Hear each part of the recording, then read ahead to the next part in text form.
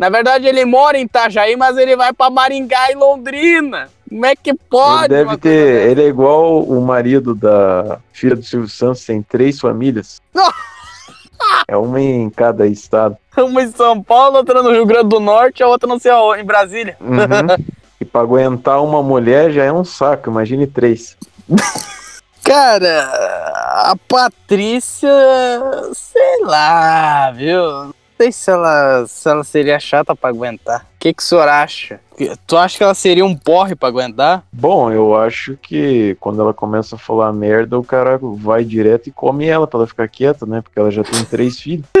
e quer até mais, ela disse. É, eu acho que assim, quando a pessoa é rica, até beleza tem 50% de probabilidade de você fazer a pessoa sofrer uma crise existencial, né? Mas pelo menos você tem dinheiro para socar no rabo dela e dar uma boa educação e tudo do bom e do melhor.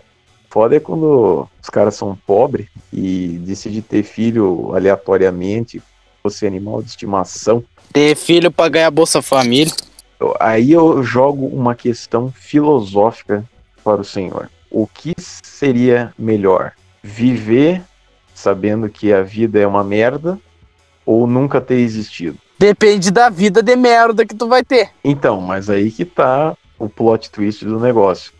Não importa o quão bom a vida da pessoa seja, um dia ela vai morrer. Então, é muito louco, porque eu acho que tem gente que, vamos dizer assim, todo mundo tem uma espécie de trava de segurança, que a pessoa, ela vive, tipo, achando que é tudo normal e tal, tipo, você chega para ela e fala assim, cara, você já pensou que é muito louco você tá vivo e você vai morrer um dia? A pessoa fala, não, mas isso é normal. Você fala, é, mas morrer um dia. A pessoa fala, não, mas eu tô ligado, é normal. Então, tipo assim, eu acho que tem umas pessoas que ela tem algum tipo de trava, e eu acho que essa trava que eu tenho, ela tá desbloqueada acidentalmente, ou coisa assim.